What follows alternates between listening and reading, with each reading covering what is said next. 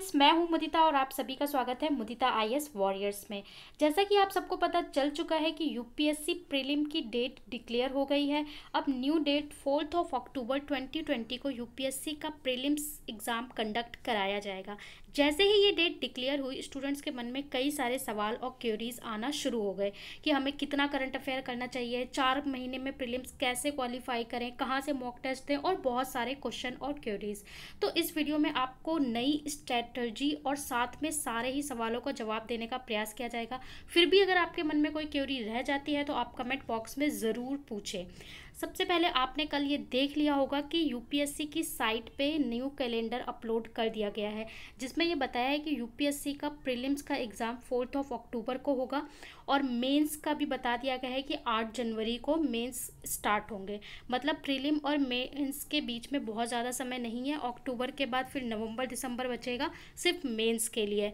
तो अब देखते हैं कि आपको क्या प्लान और क्या स्ट्रेटजी फॉलो करनी चाहिए। सबसे पहले मैं अगर आपको बताऊँ कि आपके पास कितने दिन बचे हैं तो आप डे काउंट इस तरीके से देख सकते हैं कि मैंने इस तरीके से डेज़ को अरेंज किया है। आप बोलेंगे कि जून में फिफ्टीन डेज़ क्यों रखे हैं? आज कितनी तारीख है? आज है सिक्स ऑफ़ जून तो आज छः जून है। मैंने स्टार्टिंग के चौदह तारीख तक का जो जून का टाइम है, वो इसलिए छोड़ दिया है कि बहुत सारे स्टूडेंट्स हैं, उन्हें अपना माइंड को रीप्रोग्राम करना पड़ेगा। कई लोग अपनी जो रेगुलर स्टडी थी, उसको सही से नहीं कर रहे थे, या आप आज डेट डिक्लेयर हुई है और कल से दस घंटे नहीं पढ़ सकते।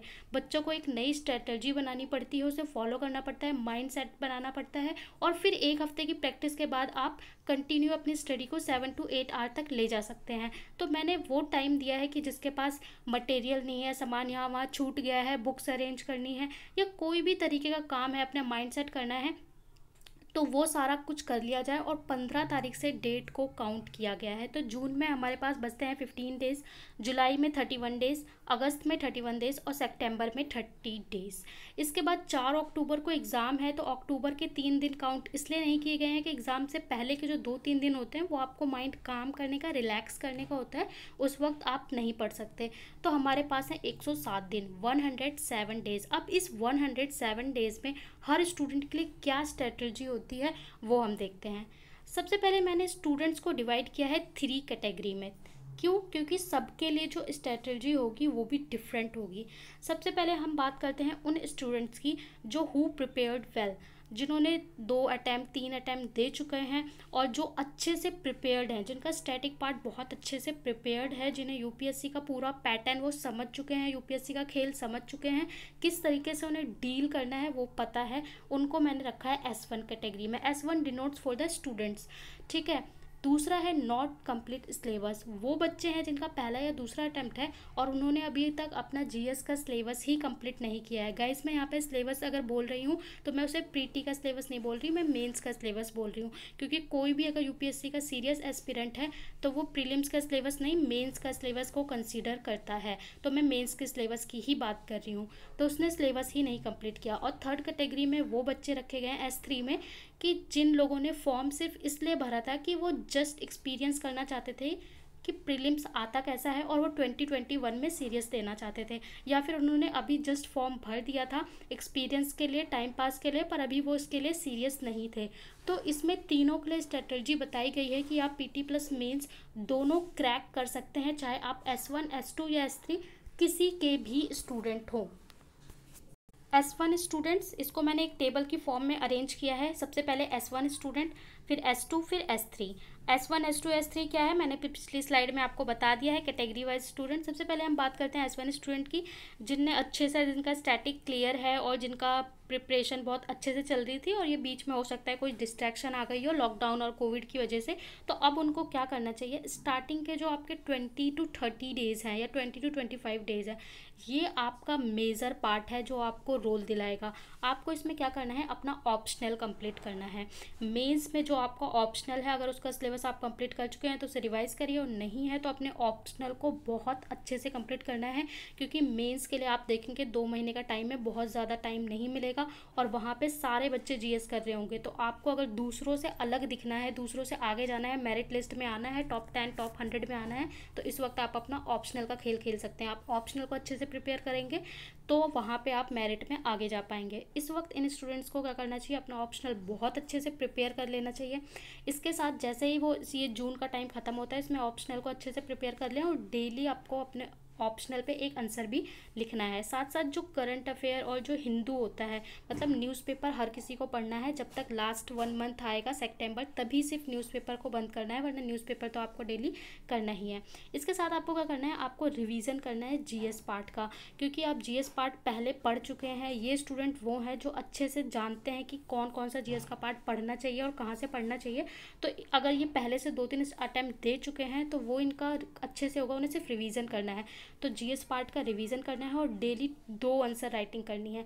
एक ऑप्शनल के लिए करनी है और एक जीएस के। इससे आपकी जीएस की भी रिवीजन होगी और ऑप्शनल की भी रिवीजन होगी और कॉन्फिडेंस गेन होगा।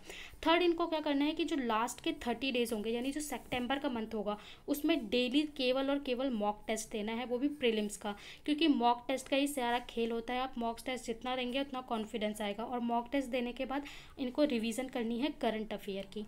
सबको पता है कि यूपीएससी पूरा करंट ओरिएंटेड होता जा रहा है। Seventy to eighty percent current oriented question आते हैं।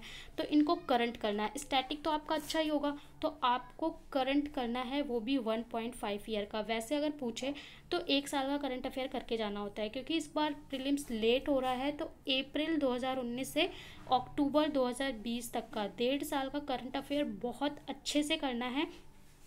साथ ही आप सेफ़ जोन में रहना चाहते हैं तो आपको दो साल का करंट अफेयर करना चाहिए। और जो बचा हुआ पार्ट है, वो मॉक टेस्ट से कवर हो जाता है। तो इस तरीके से जो एस वन के स्टूडेंट हैं, इनको सबसे ज़्यादा अपना ऑप्शनल और करंट पे ध्यान देना चाहिए, क्योंकि करंट बदलता रहता है करंट अफेयर बदलता रहता है तो वही इनको रेस में आगे ले जाएगा। क्योंकि स्टैटिक पार्ट तो सेम रहने वाला है सबके लिए तो करंट पार्ट की रिविज़न इनके लिए ज़्यादा इफ़ेक्टिव होगी।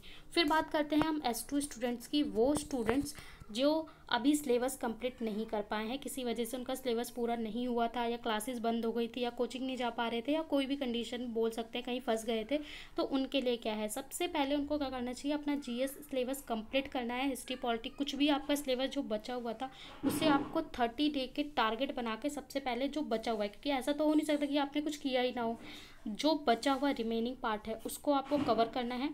इसके बाद आपको क्या करना है? करंट अफेयर का रिवीजन करना है। वही करंट अफेयर आपके लिए भी वन पॉइंट फाइव ईयर का करंट अफेयर आपको डेली एक आंसर लिखना है और जीएस का आंसर लिखना है। जीएस या करंट अफेयर दोनों में से किसी एक का एक आंसर आपको डेली लिखना है।